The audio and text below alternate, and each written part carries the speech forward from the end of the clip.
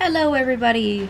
Welcome back to Soma. We are just outside of Omicron trying to make our way into the area. No idea why my screen is kind of going a little bit nuts here. I don't know if you guys can see that. It's very, very faint, but it, it kind of is getting fuzzy like I would if I was encountered an enemy. It's kind of odd.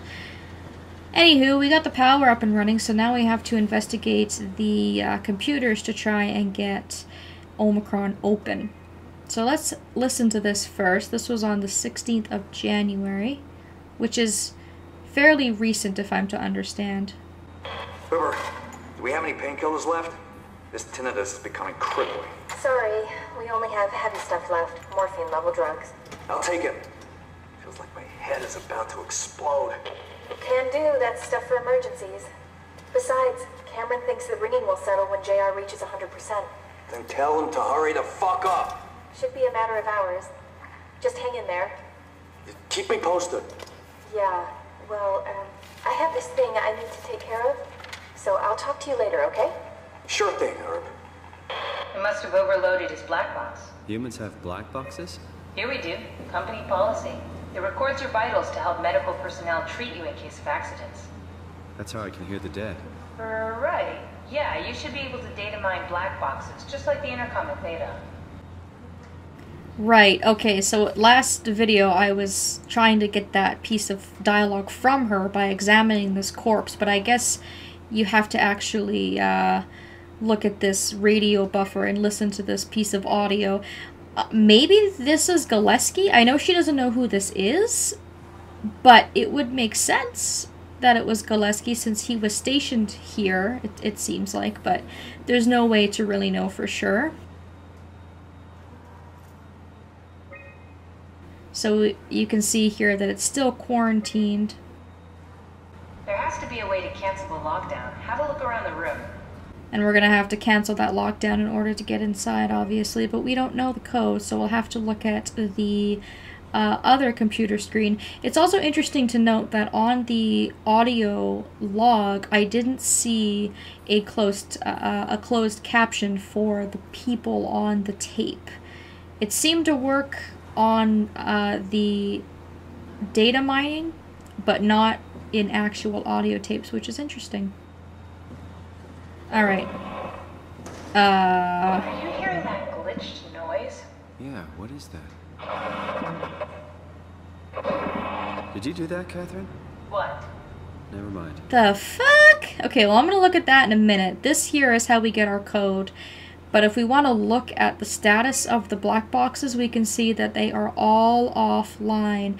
So something went really, really badly at Omicron if literally none of the black boxes are working because up to this point, the black boxes have worked for pretty much every major corpse that we've come across. So it's very interesting. I wonder what happened.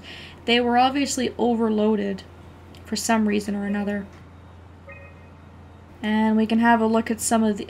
So if we if we look at the dates of the system uh, updates, it looks like people were working at Pathos 2 for at least six years before the comet hit the Earth. So they were here in uh, 2098. Heather Wolchek was doing updates to enable the black boxes. Uh, most of this is just like nonsense. We don't really, you know, need to look at these. It doesn't really give us anything um, interesting, but the the dates are interesting to note because I very rarely have we found any audio logs, any text logs, really anything that's any sooner than 2103. So it's kind of cool to confirm that these guys were probably set up down here um, away from the surface for years and years before the uh, impact event happened because I had that question at the start of the game. I was asking myself if these guys were sent down here as uh, like an emergency group of survivors to keep life going or if they were down here for years before. And it seems like they were down here for years before. So, uh, let's look at this here. And this is going to be your code. I think I solved it. Solved what? Why do I get the feeling that we just got lowered into the back of a van? What are you talking about? And it's random every single time, by the way. It will just generate a random code for you.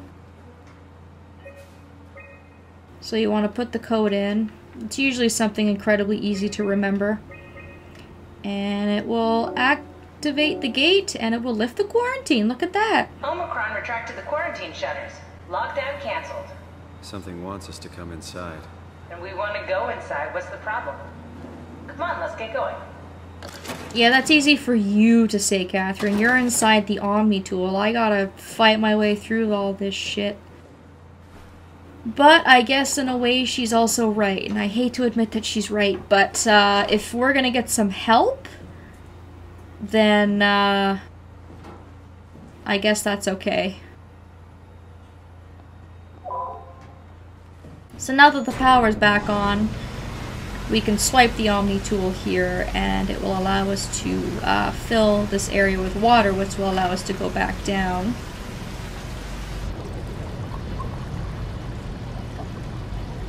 We don't have to do the whole puzzle over again with the override. And before we actually go into Omicron, there's two things that I want to have a look at. The first is our last corpse. So if you turn around and you go past our friend Strasky there on the left, and you just kind of hug the right a little bit, you can actually see the corpse we're looking for directly in front of us. Right here.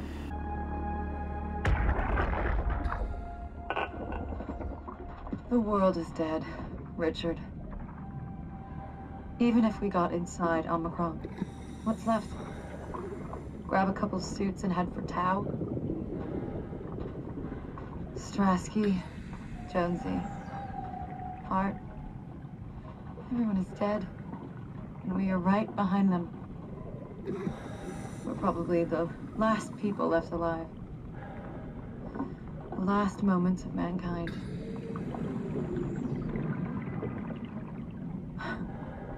No oxygen left. Better sit down. I Don't want to fall into the abyss. There are worse ways to die. Probably. Why they call you M? Huh? Oh, it's for Emma. Emma Alvaro. Yeah, I like that. It's a good name. We should have hung out more. I think we would have made good friends. Thanks. I would have liked that. Goodbye, Emma. Bye.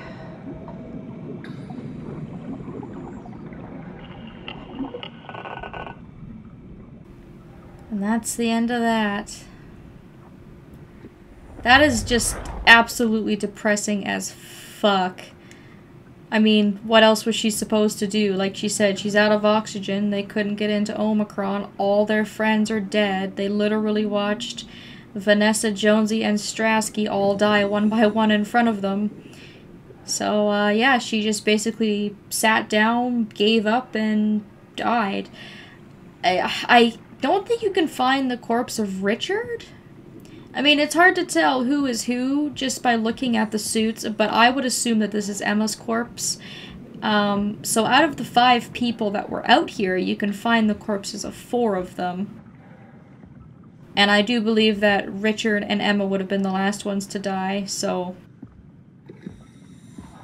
Yep, very sad.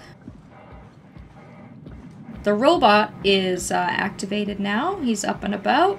I don't think this one talks. Nope, he's just gonna wander around. Uh, and the other thing I want to do before I go into Omicron is I want to see if I can look at these dome things. What the hell are these? So these were supposed to be holding different species of fish? Hold on. Huh. I, I don't know what purpose that would serve. Again, I like to think that they're like just giant balls of light or water underwater landmines or something, but I guess that these would have held species of fish for whatever reason. Alright, well, I guess my curiosity is sated. Kind of underwhelming. So enough digging around, let's go on ahead and get inside of Omicron. Not that I want to, because if it was quarantined, there's probably a very good reason why. And uh, I'm not quite sure that I want to figure out why.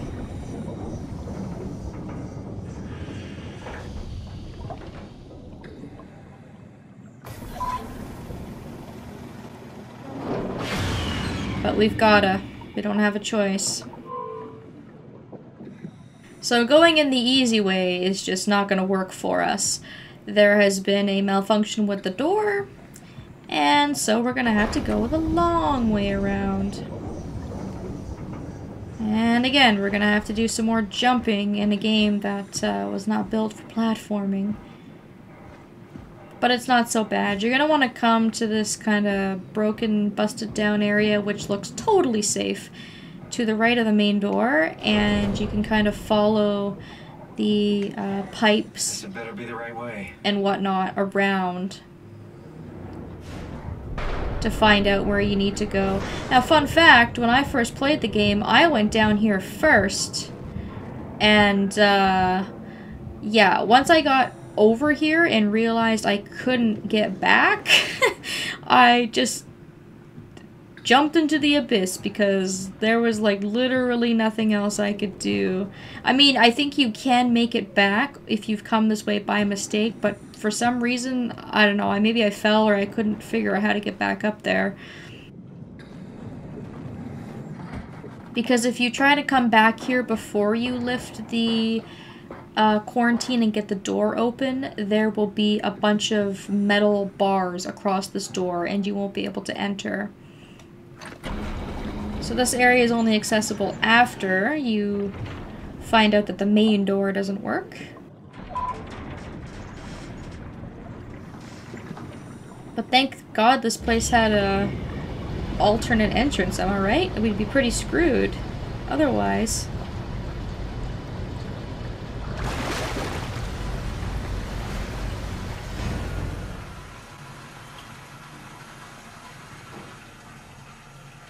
Any day now, game.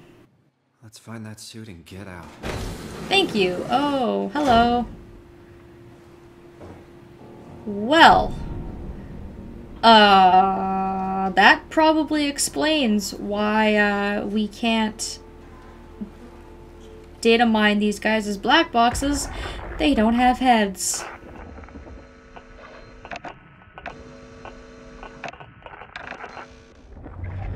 So although it's well explained and it makes sense as to why Simon can't uh, data mine any of these guys, it's kind of disappointing because I really enjoy this aspect of the game of looking at the corpses and finding out what had happened to them or finding out pieces of the story.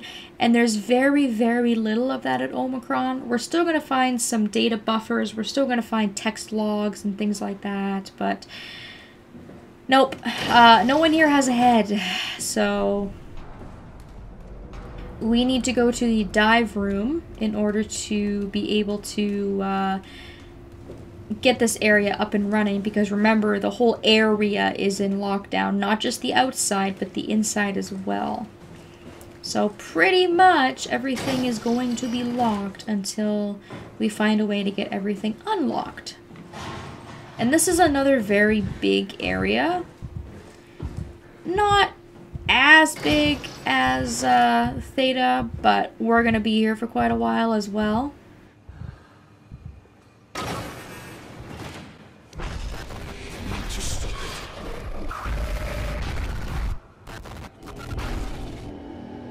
Now, in this case, closed captioning kind of uh, spoils some stuff, I guess. Uh, because it gave us a name of that thing talking to us, which you may not know if this is your first time playing. So I may decide to turn off the closed captioning just for the sake of avoiding some spoilers. Because I didn't really think about that. So this is the med bay. And I don't think there's really anything of interest in here, but I'll open a couple of drawers and just have a look just to make sure.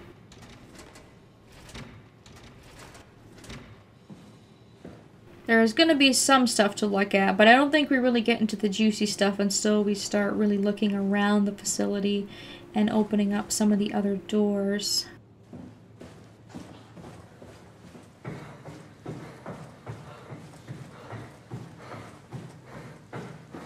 but you can go through the medical bay there, straight ahead through this hallway, and then this is the dive room. Here's a broken Omni tool on the uh, table here.